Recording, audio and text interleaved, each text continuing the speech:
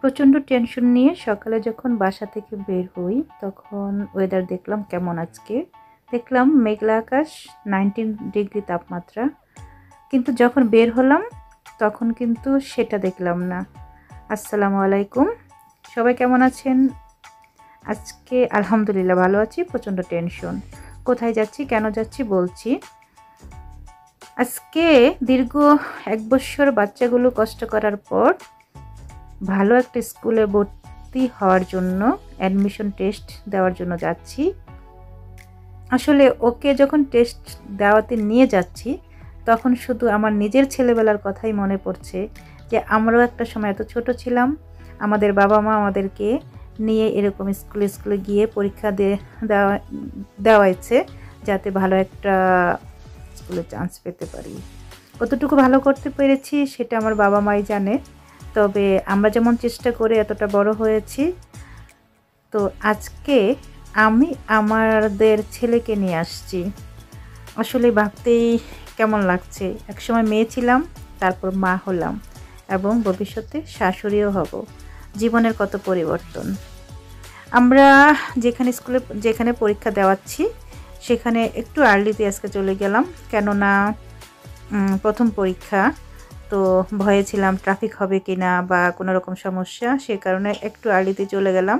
যেহেতু অনেক বেশি আর্লি হয়ে গিয়েছে, সেজন্য আমরা স্কুলের পাশে যে পার্কটি ছিল, সেখানে গিয়ে ওয়েট করলাম, ওকে কিছু খাওয়ালাম আর একটু ভিডিও করলাম। জীবনের এই অংশটুকুই আমার কাছে স্মৃতি।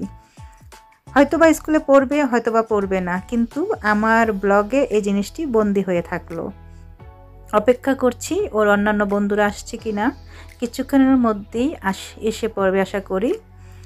তো পরাণটা দুঃখ দুঃখ করছে কিন্তু। কিন্তু আলহামদুলিল্লাহ, ছেলেরা, আমাদের বাচ্চাগুলো যারা একসাথে পড়াশোনা করল, দীর্ঘ এক বছর বিভিন্ন কোচিং সেন্টারগুলোতে তারা, তাদের ভালো প্রিপারেশন এবং কনফিডেন্টলি তারা বলল যে, ইনশাল্লাহ ভালো করব।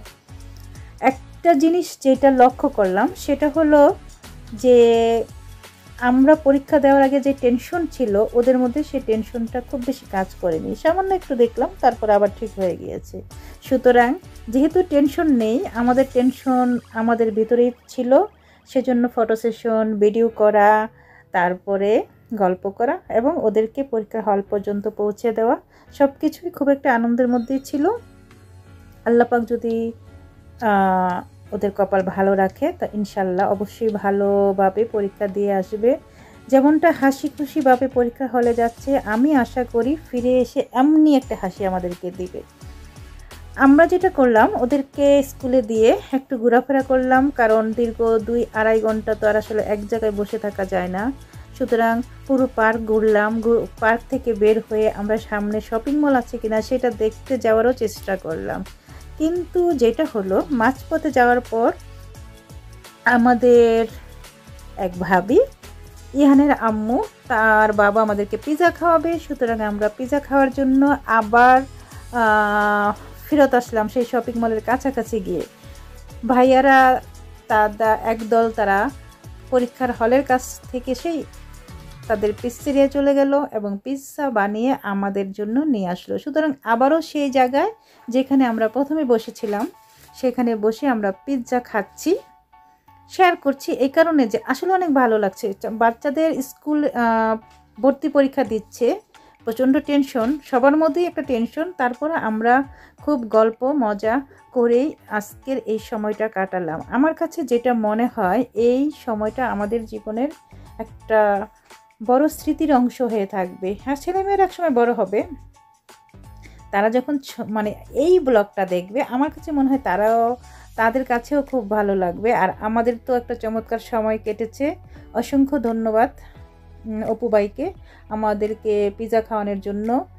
আমরা কিন্তু পিজা খাচ্ছি আর পনেরো মিনিট বাকি ছিল। আমরা অপেক্ষা করছি আমাদের বাচ্চাগুলো কখন বের হবে। যাই হোক আমরা পিজা খেয়ে খুব দ্রুত গতিতেই হলের কাছে চলে গেলাম। শাওবিন অলরেডি বের হয়ে গিয়েছে এবং যেমনটা হাসি মুখে গিয়েছিল, তেমনটা এসে আমার একটা হাসি দিয়ে বলেছে, আম্মু, খুব ভালো হয়েছে। খুব ভালো লেগেছে শুনে। এবং অন্যান্যদের জন্য অপেক্ষা করছি, দেখতে পাচ্ছি সায়ানো চলে আসছে। সুতরাং আরও যারা আছে ওর সাথে সবার জন্য অপেক্ষা করা। তো সবাই ভালো থাকবেন, আলহামদুলিল্লাহ, ছেলেদের পরীক্ষা ভালো হয়েছে। সবাই ওদের জন্য দোয়া করবেন। ইনশাল্লাহ দেখা হবে খুব শীঘ্রই।